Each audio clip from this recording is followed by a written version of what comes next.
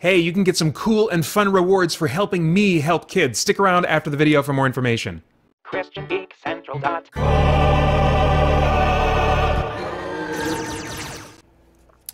Well, my editing skills are crap, but can the same thing be said about Heaven Quest, A Pilgrim's Progress? Stick around and find out.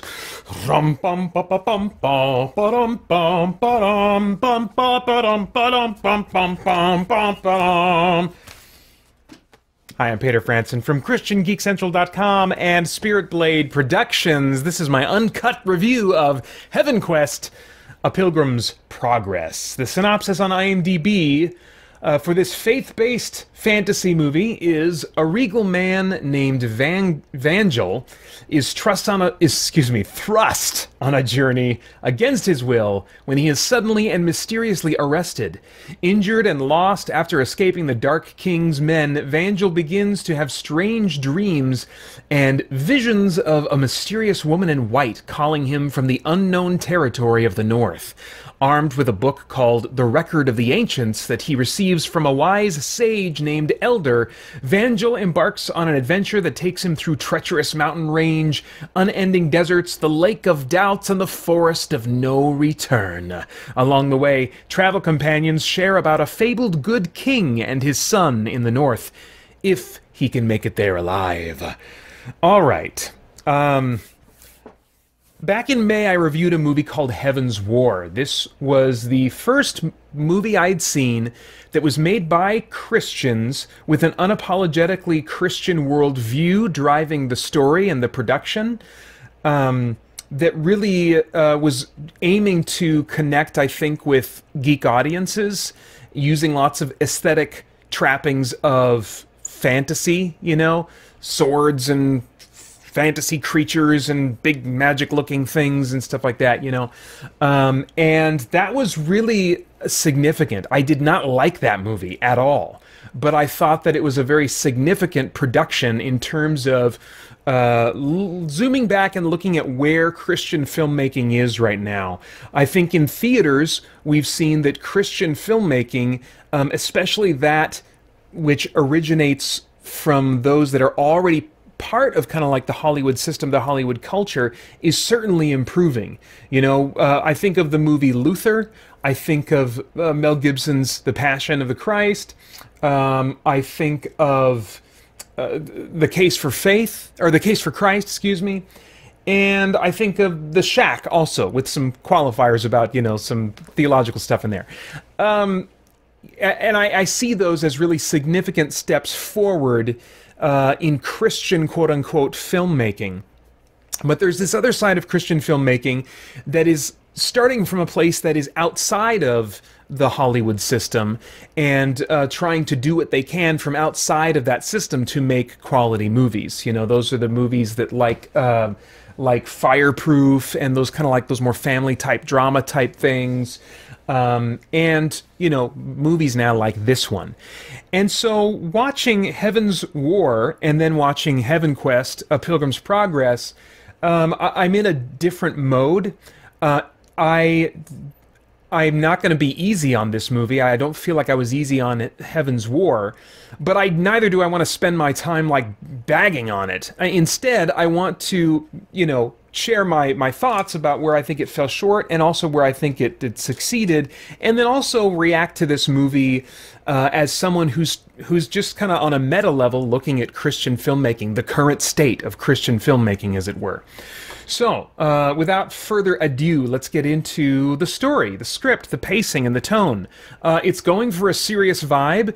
This is based roughly on The Pilgrim's Progress by John Bunyan. That's a classic uh, Christian work. It's been around for hundreds of years, but this movie only uses the barest skeleton and a few common names now and then. Other than that, it's really taking tons of liberties, I think, in an effort to make it more interesting and edgy and uh, a little bit more of a story, you know, than Bunyan's original work was, which allegory is just like he was just unapologetically going for symbols and teaching lessons, you know.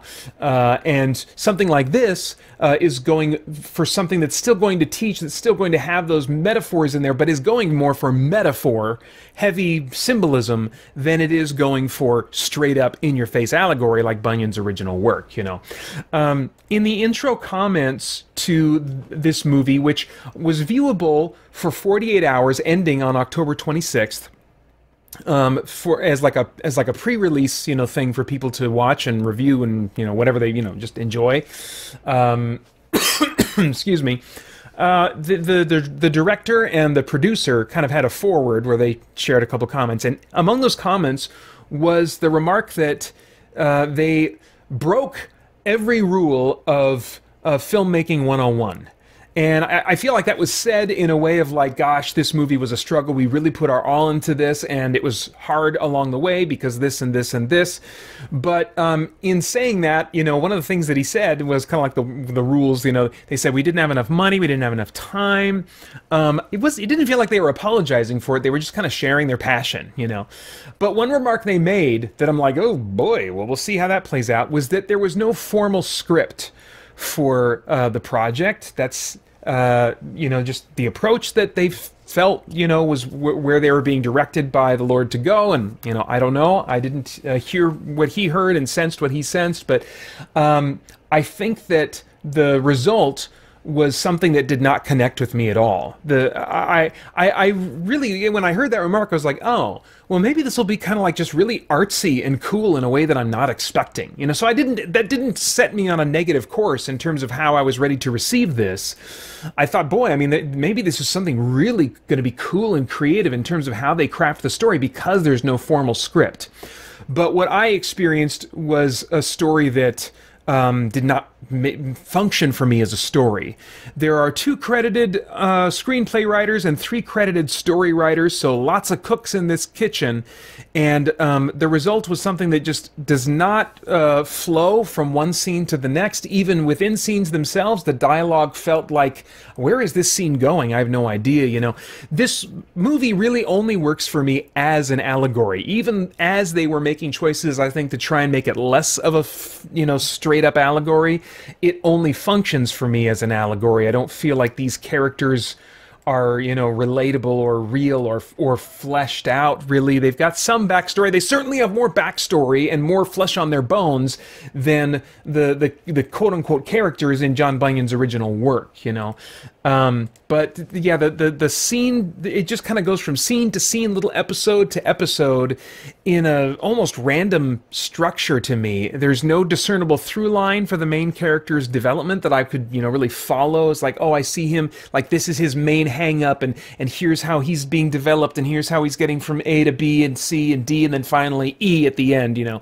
Um, the dialogue often felt unnatural to me, sometimes a little stiff and not just because it's in a fantasy setting. Uh, sometimes it felt in the same way that I would feel like um, reading playing a JRPG that's been translated into English, and I'm thinking to myself, I'm thinking something got lost in translation here. Now, I don't think that's what happened. I think this was probably, you know, written in English, you know, but there was kind of an awkward to us now, awkwardness to it now and then that reminded me of that kind of phenomenon as I'm watching a dubbed movie or, you know, a dubbed anime or playing a JRPG, you know, in English. Um, and as an allegory, I also had occasional questions about the underlying truth claims that were being uh, asserted, you know, and so I was like, it was it was it was not quite functioning for me as an allegory either. It's like, are you meaning to make a symbol out of this? Is that supposed to mean such and such? Because if it does, I, I don't think that's necessarily biblical. I'm not sure I you know. So it didn't quite land for me either. It definitely didn't land for me as a story. And then as an allegory, too, definitely had a lot of rich stuff going on there, tons of different symbols and metaphors, and I'll talk about that a little bit later, you know. Um, but I, I also didn't know where the metaphors ended and the just plain story elements began. You know, um, which things were intended to be symbols and which things weren't wasn't wasn't quite clear enough for me. Uh, and that's one of the risks you take when you're trying to adapt a work like that. You know, I uh, I, I should mention that you know I was originally creating an audio drama series based on the Pilgrim's Progress. I produced one episode of it. It's an hour long. It's called Pilgrim's Progress Similitude of a Dream. You can download it for free over at spiritblade.com. Uh, I made the, the decision to cancel that series, long story short, because of creative differences between myself and John Bunyan. Um, but I recognize in particular the creative challenges of trying to take a work like The Pilgrim's Progress and retain the valuable observations that Bunyan made about the Christian experience or the experience of becoming a believer from a place of, of not being a believer, you know, um, trying to adapt that rich work of his and make it something that's also a compelling story that's appealing to geeks. I mean, I think a lot of what they were going for in this movie is the same kind of thing that I was going for and that you can hear me going for in that first, uh, in that first episode. So I definitely sympathize with the creators and what their vision seemed to be for this. Uh, and I see them you know, struggling seemingly with some of the same things that I know I struggled with uh, as I was uh, working on that kind of project. Um, but anyway, let's get off of the story. That was easily the script, the story, easily the the weakest and most you know disconnecting part of this experience for me. Um, so let's talk about some of the things that maybe did work a little more, and that starts with the cast and the performances. These were all unknown faces to me. The lead looks like like he might be a brother or a cousin to Henry Cavill. I mean, he's not bulked out, but there's something about his facial features that really reminded me of Henry Cavill. No relationship I could find.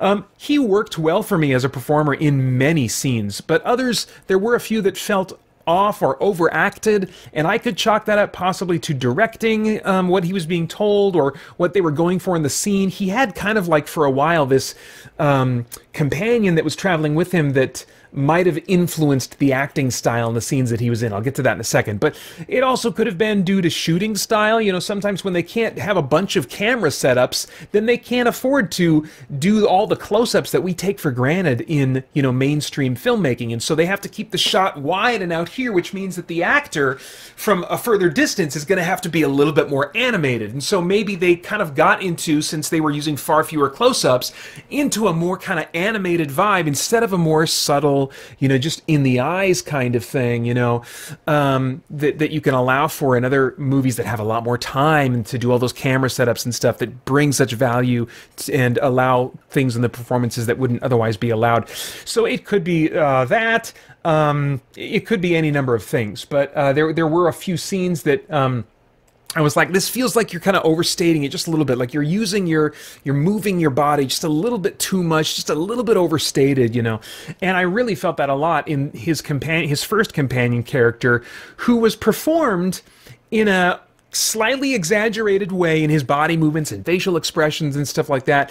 That reminded me like of a comic relief character. I was like, is he supposed to be the comic relief character? But he was rarely going for jokes and so I wasn't sure what to make of this character. You know, he's, he's either a very, at least to, I mean, I, I don't find a lot of things funny that other people find funny, so keep that in mind. But I, I really don't think that even people that typically laugh at things that I don't laugh at would really find this, you know, would really like say, oh, that's the comic relief character, you know?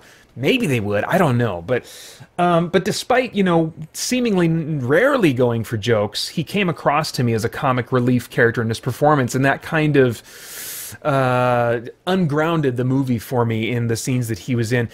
Uh, the main character's second companion, a character as a woman named Azera, played by an actress named Peta Sergeant, also unknown to me, um, was the strongest and most consistent performer for me, bringing um, subtext and what really seemed like thoughtfulness to her role and her performance that I could really see, you know. The chief villain whose name I don't even remember, I think Apollyon um, was his name, felt really underplayed and uh, wooden to me. I would have liked a much more charismatic and interesting um, character or performer to be in that kind of role. Um, I really, you know, felt like that that they a, a, different choice really could have been made, you know, with uh, either the casting or the directing or something, you know, with that character. And his chief henchman, um, who was kind of like this orc type character, was redubbed at least in post production. I'm willing to bet rewritten entirely because sometimes like every they, they seem to try to avoid showing his mouth as much as possible when he was talking you know like like they'd cut quickly away they'd show his mouth just start to move and then cut away to the person who's listening to him talk you know or they'd have him a shot from far away, you know, so you can't really see his mouth very closely. That's when his dialogue. So I don't know what was going on there, but it seems to me there's a big disconnect from what he was, the actor was verbally doing when they were shooting, and what the character was saying in the final product. Um, and it was very noticeable to me. So I'm really, really kind of odd. Um, maybe that was just part of like fighting through the mask, but I don't think so. I think his his lip movement would have synced up more with what he, the final result was. Um, yeah, if all he was doing was fighting through the mask. Anyway, okay, stunts and visuals. Now, this, I think, at least visuals, maybe not stunts, visuals is probably the strongest part of this movie for me. The visual effects are less ambitious and less frequent than, say, like Heaven's War or the Mythica series, but they're about the same quality in terms of the visual effects, and there were some really nice, um, like, uh, I want to say like uh, atmosphere shots or like a uh, establishing shots, you know, where you, that would look like a helicopter. Every once in a while there'd be like a shot that was like a helicopter shot looking thing, and I'm betting they did it with a drone, you know. And that's the cool thing about technology advancing is like now, if you want some of those cool quote unquote helicopter shots, you don't need the helicopter. All you need is a drone you can get for a hundred bucks. Stick a camera on it, and you can really do some amazing things if you've got someone who really knows how to control it, you know. So um, there was lots of cheap green screen but also some uh, you know nice sets as well, and, and city shots and other elements and other kind of like uh, still shots of, of things that I think were probably CG fabricated, but still looked uh, uh, nice. It was it was a bit inconsistent, but again, you know if you're uh, comparing this to a, a, series like the Mythica series, which is a you know it's not a Christian series, it's it's made I think specifically for geeks, people who like the D and D flavor of fantasy that like most fantasy movies won't quite commit to. You know that look of magic and that look of monsters and that look of the world and stuff. They just full go on into that and really scratch that nerd itch really really well. Um, but the sacrifice I think for going for that kind of aesthetic so hard is you're maybe not able to attract the same amount of finances, the same kind of talent, and you know those kinds of things. And so, you know, there's a trade-off. Eh, I guess is what I'm getting at with the Mythica series and with something a project like this, where it's scratching a particular itch that is not being scratched elsewhere, but that means that you're going to have to put up with some other things and in this case you know the budgetary issues with the visual effects is one. But um, the costumes i really want to say all looked pretty solid to me. There was one woman who i was like that looks like a community theater costume. That's uh, that looks noticeably of lower quality than the others. But really i, I thought the, the rest was good. The makeup and stuff you know and putting smudges on people making them look dirty and like they've been out in nature and stuff you know. I felt like they were doing you know good work. Um, at the very least you know kind of like a, a, like a TV budget type, you know, quality. You know, so I, I really my hat goes off to them definitely for the for the costuming and the makeup for the most for the most part. I think in a daytime shot with the orc. Uh, it looks a little rubbery, but anyway. Um, let's see. Combat sequences, which sometimes felt put in just to try and appeal to people who would want them, you know, lacked any real complexity. Uh, choreography was minimal camera cuts and other tricks were used to kind of cover shortcomings and try to fancy things up with slow motion or you know whatever. Uh, but it still felt like an element that needed more. I do appreciate that there were some spurts now and then where they would use some clever editing to do some cool trippy symbolic types of things or like show that someone's having a vision that they don't understand or whatever you know? So uh, every once in a while they would do some cool editing stuff that i think really contributed to the uh, the visual quality of the film as a whole. So I, I think that visually that was probably the strongest part of the movie for me. Now, as far as like uh, themes, is there any themes that might trigger some worthwhile thought um, or conversation about moral, philosophical, or spiritual issues? Well, you know, you might think, well, sure there are, you know, and yes, there are uh, metaphors here about coming to faith from a starting point of feeling burdened and oppressed. There are metaphors for forgiveness, for newness in Christ, and living in the purpose of God's kingdom right now there are metaphors of self deception and life's distractions from what's important. You know, a lot of Bunyan's metaphors did get carried over. A ton weren't, you know, they didn't have time to do, you know, all of them, but uh, a, a, good chunk of them, you know, were carried over. And you can catch most of these, I think, if you're looking for them. But uh, they are faint enough and vague enough that I would have prefer- preferred a movie with fewer of them that brought those, those fewer out more fully or more richly in some way. And I think that's like likely a problem that's inherent to trying to adapt this classic work, you know, from a bold faced allegory to something that's more just heavily symbolic. All right, so wrapping up here, I have no idea what your tastes in movies are, but if I were a time traveler, I'd go back in time and say, Paeter, skip. Skip this one, you know, you you aren't personally pulled to Christian fiction unless it can stand toe to toe in quality with the mainstream alternatives. You know, so this isn't you're not the audience for this. Uh, this this experience is going to ask you to forgive way too much in order to have a Christian based fantasy movie with some legit geek appeal, and you're just not that hungry for a Christian based fantasy movie with some you know legit geek appeal.